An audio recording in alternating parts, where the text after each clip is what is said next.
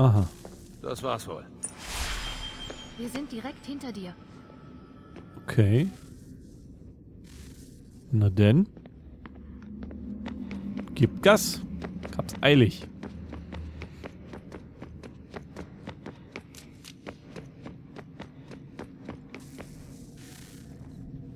Spannend. Spannend.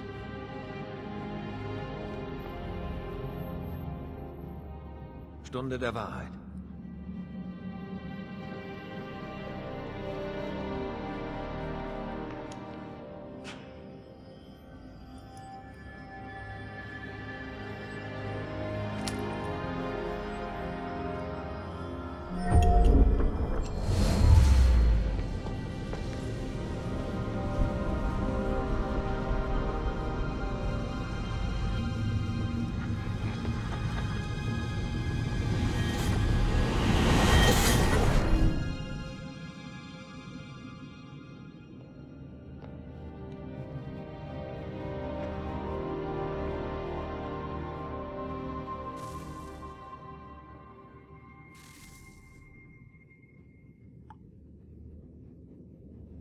Mhm. Na gut. Jo, ich beeil mich ein bisschen. Hm? Ja. Komm.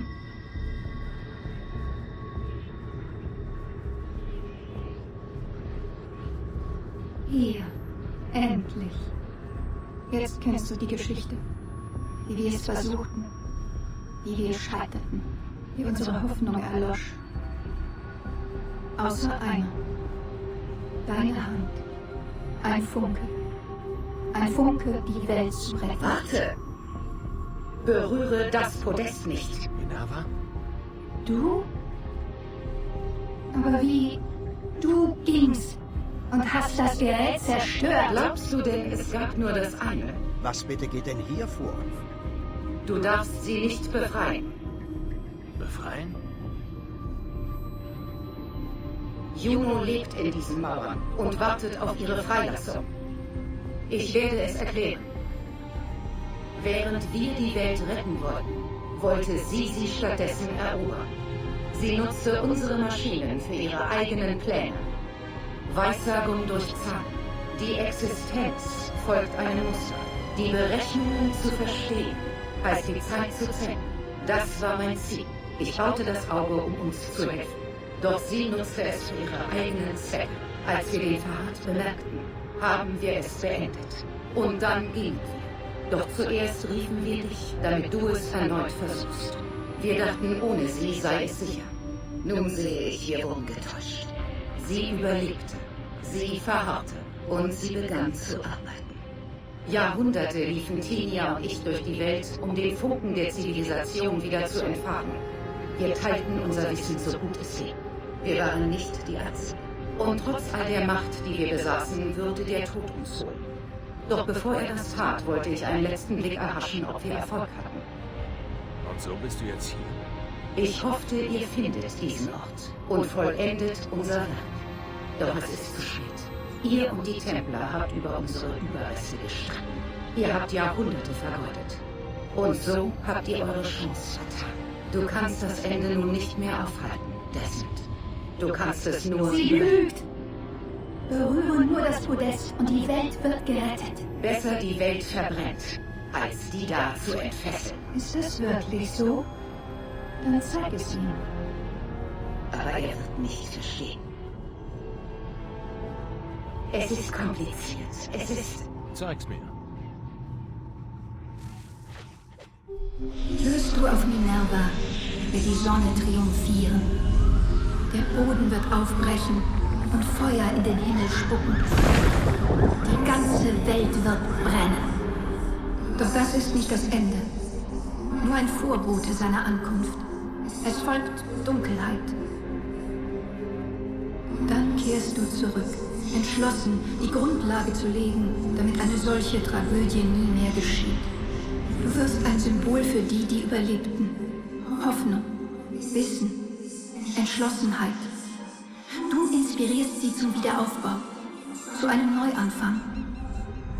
Und mit der Welt wird auch die Menschheit genießen.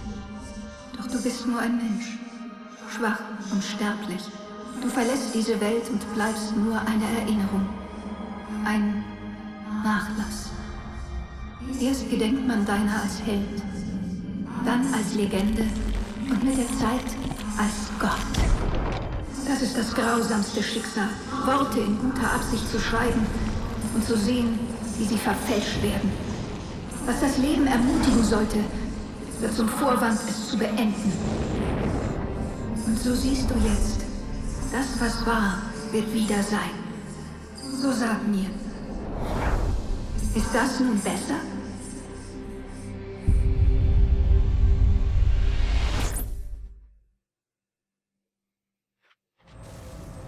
Sie würde dich opfern. Sie würde die Welt opfern. Und einfach nur, weil sie mir die Genugtuung nicht gönnen will. Sie wird deine Rasse versklaven, Desmond. Kämpft ihr denn nicht deswegen? Seid ihr nicht deshalb hierher gekommen? Um die Zukunft eurer Rasse zu sichern und ihre Freiheit. Welche Zukunft? Welche Freiheit? Milliarden sterben und der Zyklus beginnt von vorn? Die Welt kennt nichts weiter als Schmerz und Horror, seit wir sie verließen. Unser Geschenk an sie. Und du willst es wieder haben. Genug! Du darfst das nicht tun. Was immer Juno plant, wie schlimm es heute auch scheinen mag, wir werden sie aufhalten. Doch die Alternative, das, was du willst, hat keine Hoffnung. Befasst du sie, wirst du vernichtet. Es wird sehr, sehr schnell gehen. Und ohne Schmerz. Tu es nicht. Es ist getan. Die Entscheidung steht. Dann musst du mit den Konsequenzen dieses Fehlers leben und sterben. Verschwindet. Ihr alle. Jetzt. Geht so weit weg, wie ihr nur könnt. Komm mit uns. Wir finden einen Weg. Keine Zeit. So, Du weißt, dass es stimmt. Es hat begonnen. Ich muss das tun. Also geht. Geht!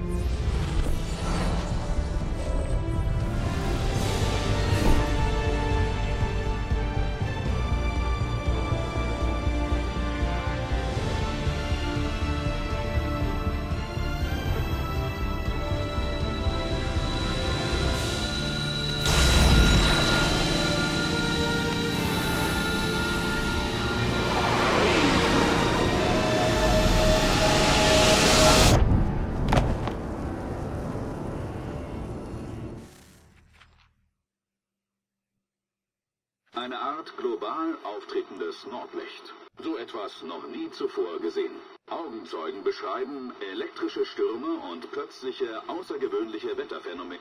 Die Bevölkerung auf, ihre Wohnungen nicht zu verlassen. Und auch Geologen berichten von seismischen Aktivitäten im pazifischen Feuerring. Der Nordosten Kanadas erlebt zurzeit die schlimmsten Wetterkapriolen. Beginn der Aufzeichnungen. Satelliten und Transformatoren fallen aus, während der Sonnensturm immer stärker wird. Weltweit wird von Stromausfällen berichtet. Scheint zurückzugehen. Leichte seismische und vulkanische Aktivität wird berichtet, aber nicht mehr in der vorherigen Stärke. Natürlich wird es mehrere Tage dauern, bis Experten die tatsächlichen Schäden des heutigen Ereignisses festgestellt haben. Aber das Schlimmste scheint vorüber zu sein. Wir halten Sie über die Entwicklung der Geschichte auf dem Laufenden. Vollbracht. Die Welt ist gerettet. Du deine Rolle gut gespielt? Aber nun, nun ist es an der Zeit, dass ich die meine spiele.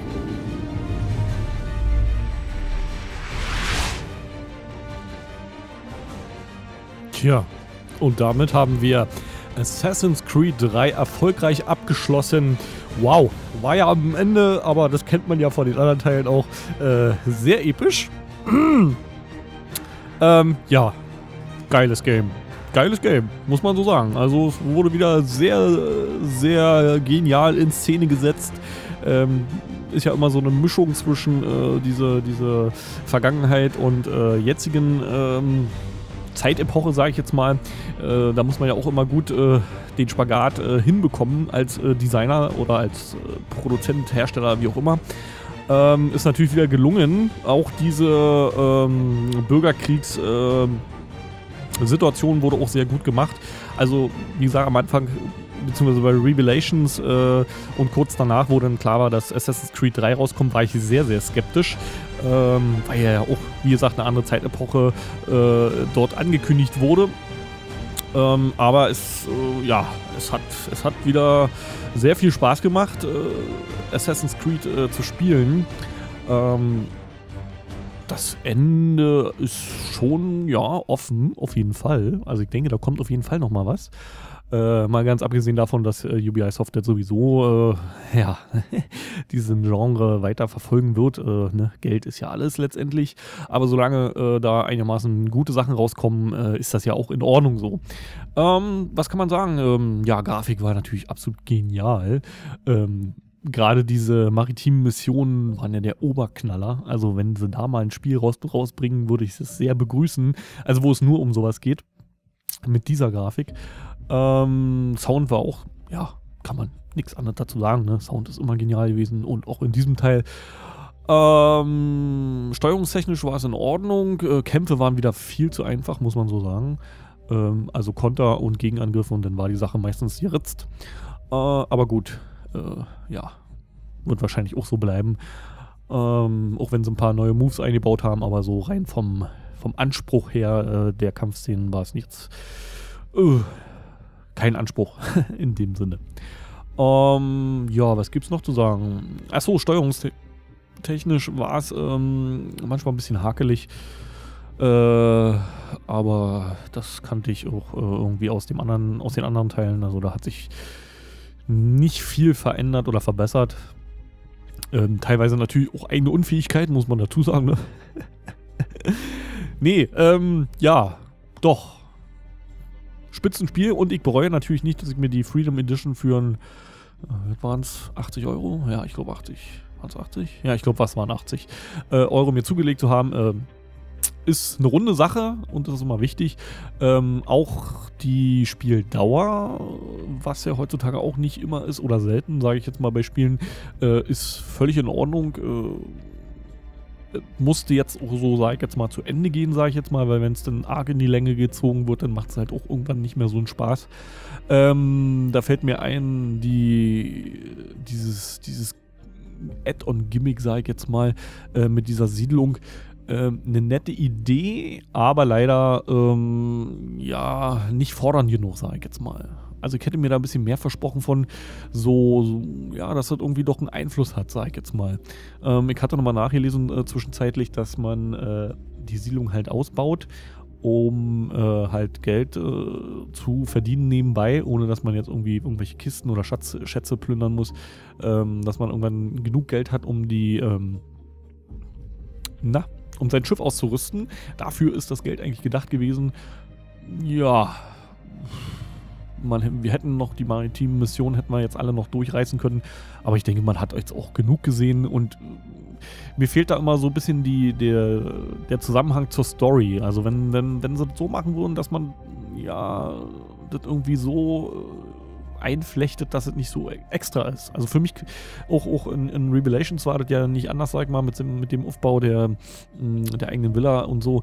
Ähm, es hatte keinen Einfluss. Also man hätte es auch gar nicht machen brauchen. Man hätte es einfach links liegen lassen, liegen lassen können und ähm, um dann halt äh, einfach der Story zu folgen und dann wären wir hier, weiß ich nicht, in, in, in 25 Teilen oder so durch gewesen. Äh, also 25 Parts. Ja, fand ich ein bisschen schade. Die Idee war, war nämlich richtig genial gemacht. Also, dass man in der Siedlung dann da den Leuten hilft und bla und bla und bla. Ja, kann man, kann man natürlich machen, aber mir, mir fehlt halt, ähm, ja, die, die Verbindung zur, zur Hauptstory, sage ich jetzt mal. So. Das war eigentlich so das Negat Negativste, sag ich mal, was mir aufgefallen ist. Aber das war, wie gesagt, in Revelations auch schon so und ja, vielleicht für den nächsten Teil können sie da ein bisschen was deichseln, sage ich jetzt mal, dass das irgendwie besser eingeflochten wird und auch Einfluss auf, die, auf, den, auf den Hauptstrang der Story hat. So, gut, genug gelabert. Ansonsten bedanke ich mich natürlich wieder bei allen meinen Zuschauern, äh, dass sie dieses Let's Play verfolgt haben. Und ähm, ich hoffe, da kommt ich hoffe, da kommt noch ein neuer Assassin's Creed Teil irgendwann. dies Jahr, ja, weiß ich nicht. Ihr hört, habe ich davon noch nichts, also denke ich nicht, dass dies Jahr noch was kommen wird. Aber das weiß man ja manchmal nicht, war. Manchmal hauen sie ja dann einfach ihn raus. Ähm, ich hoffe, es kommt kein Add-on, was so nebenbei läuft, sondern halt wirklich Assassin's Creed 4. Also wirklich dann auch weiter verfolgend, äh, wie das jetzt hier weitergeht. Ist gut. Ja. Okay. Danke, habe ich gesagt an meinen Zuschauer. nee. Ja, gut. Ja, dann bleibt mir eigentlich nichts weiter zu sagen, als äh, bis äh, demnächst in einem anderen Let's Play. Äh, beziehungsweise es laufen ja noch diverse Let's Plays und es kommen ja auch wieder immer wieder Let's Plays. Gut, okay. Dann verabschiede ich mich und ich lasse hier wie immer die Credits noch durchlaufen und dann ist hier Ende mit Assassin's Creed 3. Es wird übrigens kein Multiplayer-Game von mir geben, äh, da ich diesen Multiplayer nicht unbedingt so prickelnd finde. Gut, ansonsten bis denn, euer Santi AP.